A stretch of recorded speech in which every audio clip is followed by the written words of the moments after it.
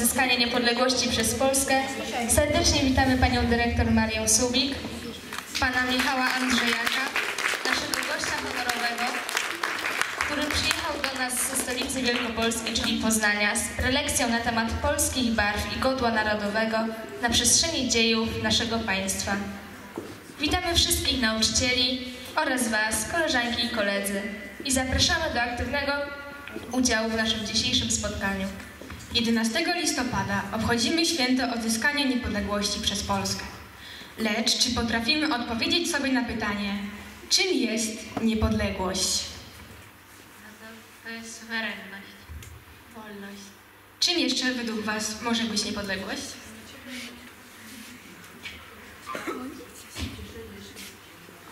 Czym może być? Kto to może to powiedzieć?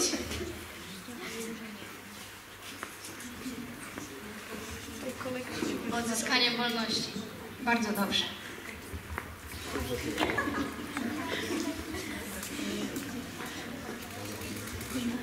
Tak, niepodległość to niezawisłość jednego państwa do drugiego. To prawo do decydowania o swoich prawach.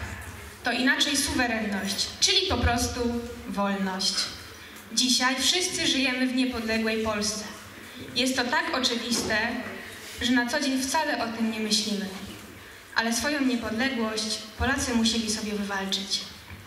W 1795 roku mocarstwa rozbiorowe przypieczętowały akt odbierający Polakom największe wartości wolność i niepodległość. Polska została rozebrana między Rosję, Prusy i Austrię. Chociaż Polski nie było na mapie, Polacy czynili wysiłki, by odzyskać wolność. Generał Jan Henryk Dąbrowski utworzył we Włoszech legiony polskie. Nie zdołały one wyzwolić, wyzwolić ojczyzny, ale walczyły u boku Napoleona. Przyczyniły się do utworzenia zalążka państwa polskiego, księstwa warszawskiego. Wkrótce rozpaliły się nowe nadzieje Polaków. 29 listopada 1830 roku wybuchło powstanie listopadowe, zorganizowane przez sprzysiężenie podchorążych piechoty Piotra Wysockiego. Doszło do wojny z armią carską. Niestety zryw listopadowy zakończył się klęską Polaków, podobnie jak powstanie styczniowe zorganizowane w 1863 roku, które było największym z powstań narodowych, później powstanie wielkopolskie i powstania śląskie. Ale jak historia pokazała, nie można wymazać u człowieka pamięci o przeszłości, a tym bardziej zabić ducha wolności. A my, Polacy, mamy w sobie gen wolności. Marzenia Polaków o odzyskaniu niepodległości zaczęły się spełniać na początku XX wieku, w 1914 roku, kiedy to po raz pierwszy w historii trzech zaborców stanęło przeciw sobie w I wojnie światowej. Józef Piłsudski, Roman Dmowski, Ignacy Jan Paderewski i Wincenty Witos przyczynili się do odzyskania niepodległości swoimi działaniami i niezłomną postawą. 11 listopada 1918 roku ojczyzna była wolna. Cieszyli się wszyscy Polacy. Wnukowie powstańców z 1863 roku wypełnili ich patriotyczny testament.